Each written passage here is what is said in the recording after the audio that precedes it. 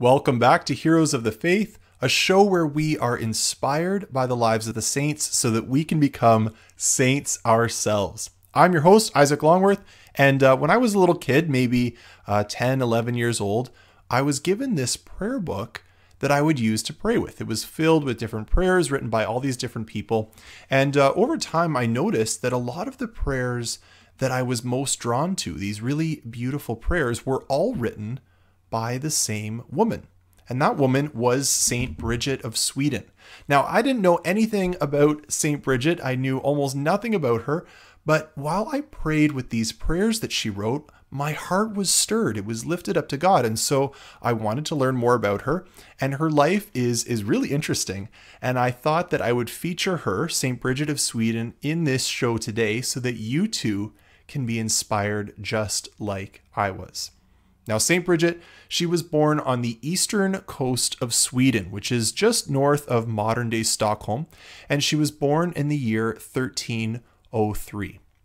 Now, Bridget, she came from a noble family, uh, a very rich family. Her father was a judge. He owned uh, a lot of property in Sweden. He was very wealthy. And uh, so she lacked for nothing growing up. Her parents were also very devout Catholics, and so they taught little Bridget uh, and her three siblings to love God from a very young age. Now, Bridget, because she was trained by such prayerful parents, she from a very early age uh, had a sincere love for God. She would often spend a lot of her time speaking with God in prayer. And uh, little Bridget found that God began to speak back to her. She was amazed to experience messages from God. He would speak to her through words that she would hear. She would also see images that he would show her, these visions that he would begin to show her when she was still a young child. One day she saw Jesus on the cross, covered in wounds, bleeding. And little Bridget said to Jesus, Who did this to you? And Jesus responded, They who despise me and spurn my love for them. So Bridget realized that uh, it was our sin that put Jesus on the cross, and from that very moment, she had a enormous amount of love and devotion for Jesus, who had suffered for sinners on the cross. She had a great love for Jesus suffering in his holy passion, and she continued to have that devotion through the whole of her life. Now, Bridget, her mother unfortunately died when she was only 12 years old, and so her aunt moved in to help raise her growing up. And Bridget received the best schooling that money could buy at that time. She was an excellent student, she was very smart. And uh, when she got a little bit older, she married a man named Ulf. Now, Ulf was also a strong Catholic. He took his faith very seriously and he loved the Lord. And so uh, Bridget and Ulf together raised four sons and four daughters. This big family of eight. Uh, they taught their children about the faith uh, and Bridget even taught her husband how to read. Her husband Ulf didn't know how to read before the marriage, but Bridget had been trained growing up, and so she trained her husband how to read. And they were really a happy and holy family. They loved each other. They were a good family. Uh, Bridget continued to regularly receive messages from God. He continued to speak to her just as he had when she was a child. Now, just like her father, uh, Bridget and Ulf were very rich. Uh, Ulf was a cousin and uh, an advisor in the court of the king. And so the family was often hosted at the royal court. Uh, and like anyone who was rich has experienced, Bridget was tempted to spend her money all on herself. So this is kind of comforting for us. Sometimes we think that saints are perfect, uh, but saints, even those who hear God and receive visions from Him, they're not perfect. And so uh, Bridget wanted to spend all the money on herself. She wanted to live this lavish life. And at one point, she brought this big, beautiful bed. She had it designed for her and Ulf to sleep in. And when it was all finished, Jesus reminded her the Son of Man has nowhere to lay his head. That's what he said in the Gospel of Matthew because Jesus lived a poor life. He was always traveling, he never had a place to rest. And so he reminded Bridget if you want to be like me, if you want to be a saint, you have to live simply. And so this experience reminded her to be generous with her money, that her money was not to be used all for her own pleasure. She had to use it to help the poor. It was all a gift from God. And so Bridget committed to helping the poor in her area. Especially, she felt a calling to help uh, unwed mothers and girls who were too poor to be able to get married. They were too poor to afford and start a new family. And so Bridget would help these women get into a more secure position. She also used her money to rescue girls who had been sold into prostitution in that area, and she helped them to adjust to a new life in society, helped them find jobs and find a sustainable income. In that way, uh, she was benefiting them through her generosity. Uh, so she often took her children with her. Bridget would take her children with her when she went to go and serve the poor because she wanted to train them not to just love God through through prayer and worship, but to love Him through charity as well. Teach them how to be generous to others. Uh, one of the children uh, said about this later when looking back on her life being raised by Bridget. She said, "Mother was sometimes reproached for taking us little girls with her." They said that we might be infected from the stench of the sick people. But Bridget answered that she took us with her just while we were still small so that we might learn at an early age to serve God in his poor and in his sick. So Bridget was a truly awesome mother, training her children how to be generous and charitable to the poor, and uh, seeing the suffering of these people, these poor, these sick, these infirm. Uh, they reminded Bridget of the sufferings of Jesus. Remember, she had that great devotion to Jesus' suffering on the cross. And so, in the poor, she was reminded of the suffering of Jesus, and her love for the passion of our Lord, it intensified. She intensified her love for Jesus who suffered on the cross for her. And one day, Jesus told her that throughout the course of his passion, throughout the time when he was arrested and tortured and put to death, that he had received 5,480 blows to his body. He told her the exact number of blows that he had suffered.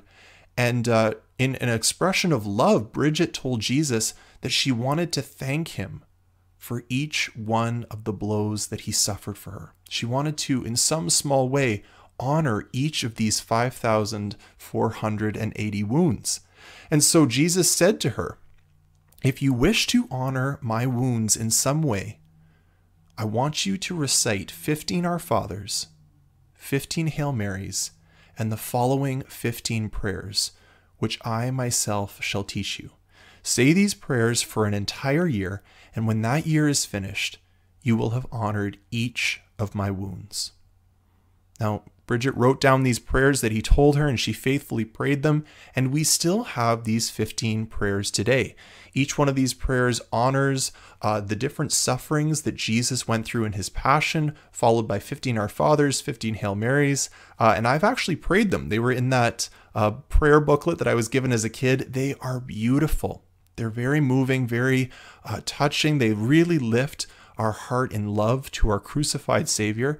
And uh, I just think that they're beautiful. And it's a great reminder of how much Jesus suffered for us. And it helps us to give thanks to God for what he did for us. So I highly encourage you to find these 15 prayers, pray with them, meditate on them, and let these words that Jesus spoke to Bridget penetrate your heart as well. Well, Bridget, as she continued to receive visions from the Lord, she had a desire to suffer even more for Jesus. She wanted to be uh, united with him. She wanted to be connected with him. And it was hard for her to do that while she was living in the lavish life of the court. Remember, she was still uh, very much involved with the royal court. She was rich. She was wealthy. Despite all of her generosity, she still had a lot of money. And so Bridget decided to take on extra suffering for herself in order to be more easily connected to her suffering Jesus, who she loved so much. And so she started to take on uh, more intense fasting. She would go without food. She would uh, suffer with that. She would sleep on a sack of straw. So forget about the big bed she had ordered for her and Ulf. She slept on a sack of straw. Uh, she, even sometimes she would burn her arms in order to remind herself constantly of the wounds that Jesus had suffered for her, that the scars that Jesus suffered for her, she would remember those by burning her own arms. But even though she was adding all these sufferings to her own life, other sufferings were coming her way that she had no control of. Because when she was in her 40s, her husband unfortunately died while he was on a pilgrimage, and she was left a widow. Now, at this time, her children were old enough to take care of themselves, they were adults, and so God began to show Bridget that his new plans for her were to start a new foundation, a new community of both men and women to live in religious life. He wanted her to found this new religious community. Jesus told her the rule of life that her followers should live by, that they should spend their time in prayer, in study, that they would live simple lives, give away a lot of their money so that they could use all of their excess wealth to assist the poor of the city generously. They would be devoted to Jesus, the most holy Savior. And uh, Bridget even designed the clothing that they would wear, which would symbolize their devotion to Jesus who had suffered for them. And so she designed this headdress uh, that the women in the community would wear. It was this habit that had uh, a crown made out of metal with red points, five red points to symbolize Jesus' crown and the, the bloody wounds that he suffered for us. So it would be an order devoted to Jesus the Savior, venerating and honoring him for the passion that he had suffered to save us. So, after she had received all these visions from Jesus, these marching orders, these plans for this new order, uh, Bridget had to make the long journey to Rome. She had to go to Rome to seek the Pope's permission to found this new order. She couldn't just do it all by herself, she needed the Pope's permission. And so she traveled to Rome with some companions to petition the Pope for this cause. The problem was, the Pope wasn't in Rome. And that was a problem because you see, the Pope had been pressured to leave Rome behind and to move to a place called Avignon, France. And so he had moved to Avignon with all of his papal court, and he had moved there because he was influenced and pressured to do so by uh, French clergy, by the French king, and, and there was a reason that they wanted this. You see, for over 60 years, the Pope had lived a life of luxury and ease in France. And he was avoiding his rightful duties in Rome and, and the duties that he had there as Pope because the French king wanted to have him in France to have more control over the church there. And so it was a very uh, demoralizing and confusing time for Catholics. Can you imagine what that would be like? Uh, their leader was absent and he seemed to be under the control of the French king. And so it left Catholics all over the world confused about who their leader was, what he was doing. It was a very uh, confusing time. In the Pope's absence, his city of Rome was in a state of chaos. There was two different Italian families who were feuding with each other. Uh, they were fighting in the streets, and so crime and violence and political unrest was rampant. Uh, without the Pope's leadership, the, the Roman bishops and abbots and priests, they were doing pretty much whatever they wanted to do. They were living uh, pretty scandalous lives of sin. They were selling church titles for money and power. They were giving away church positions to sometimes even their own family, even their own illicit children. And so it was a messed up situation. And to top all of it off, uh, the Black Plague was ravaging the city. And so many of the Romans were sick, they were dying in terrible poverty. And so you can imagine why it was easy for the Pope to leave his responsibilities in Rome behind, to just live a life of calm and luxury in France, even though it wasn't the right thing for him to do. Well, Bridget, when she got to Rome and she saw uh, the disastrous state that the city of Rome was in, she decided to get to work right away. She showed her now characteristic generosity to the poorest in the city. She would bravely go to take care of plague victims. She had no fear of getting sick herself. And she would go to different churches all over Rome. She would spend time praying in each chapel, praying, earnestly praying for the revival of the city, that the people would turn back to the Lord Jesus and leave their sin behind. She visited with the church leaders and she encouraged them to leave their sinful and their abusive lifestyles behind to actually serve the church instead of serving themselves. She told them what God wanted them to do, how He wanted them to live. And with many of them, she gave pretty harsh messages that she had received from God Himself, warning them to repent, before it was too late. Bridget had no fear doing what she thought was right in order to bring renewal in that city. She wrote letters to secular rulers and princes and kings, urging them to stop their sinful practices, to convert their lives, to stop feuding, to stop their jealous wars that destroyed lives for the sake of their greed and their and their lust for power. She was uh, championing the rights of the poor and the vulnerable. She even wrote letters to the Pope himself.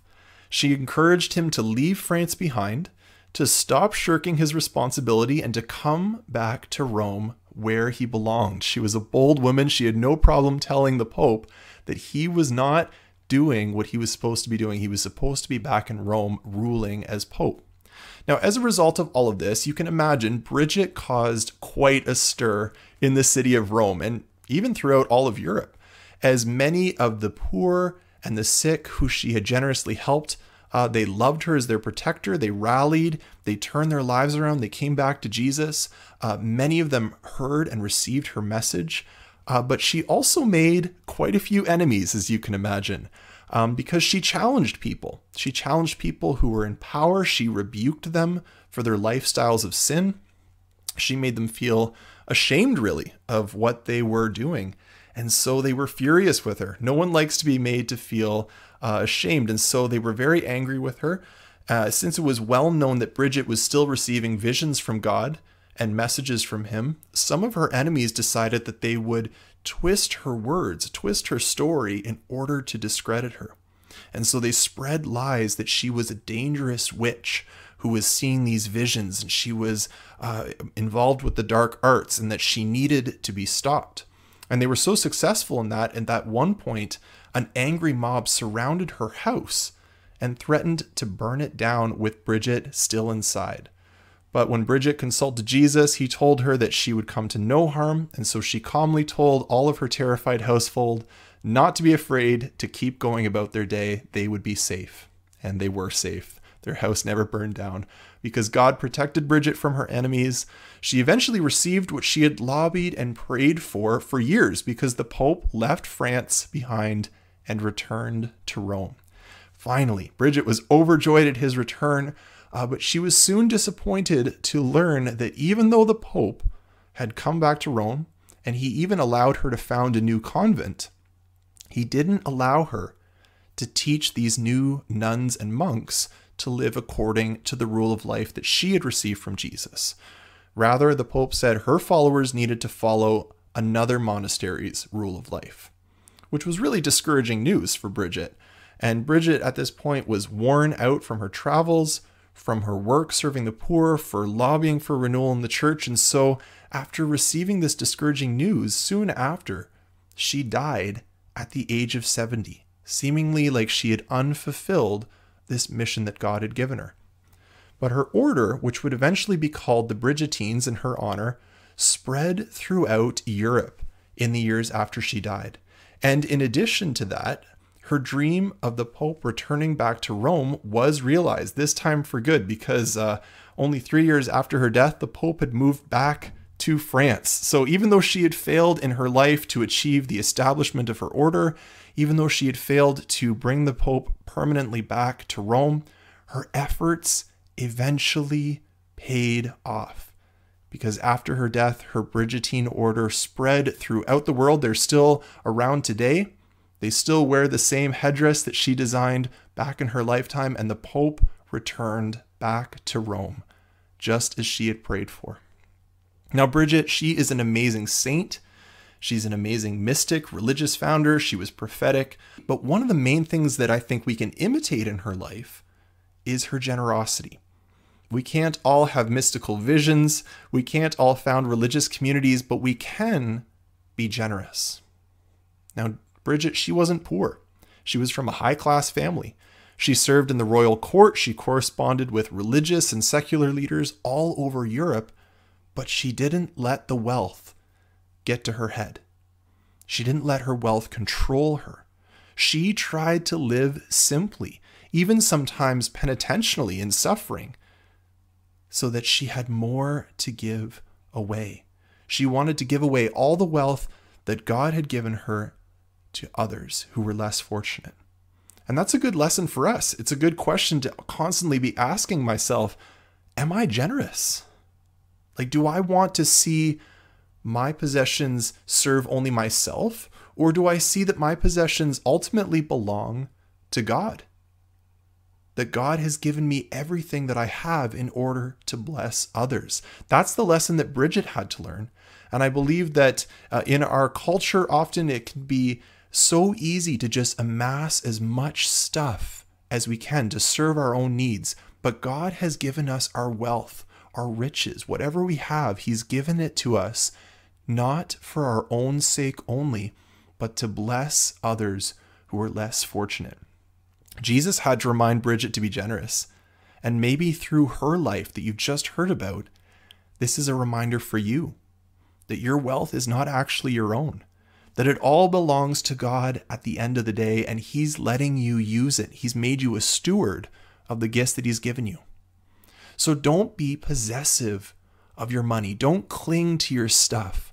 Be like St. Bridget. Ask her to show you how to be generous like she was. So let's pray for that now as we ask for St. Bridget of Sweden's intercession. In the name of the Father, and of the Son, and of the Holy Spirit. Amen. St. Bridget, you lived the virtue of generosity. Help us to desire to give of what we have been given. And even if we don't feel like it, even if we don't feel like giving away our stuff, if we feel like keeping it all to ourselves, help us to work on being generous like you are, realizing that all of it is a gift from God. Bridget, you had a deep love for the suffering Jesus, for the Lord Jesus who suffered and died for sinners like you and me. Help us to realize just how much Jesus suffered, that he bled and died for us so that we could be forgiven and saved. St. Bridget of Sweden, pray for us.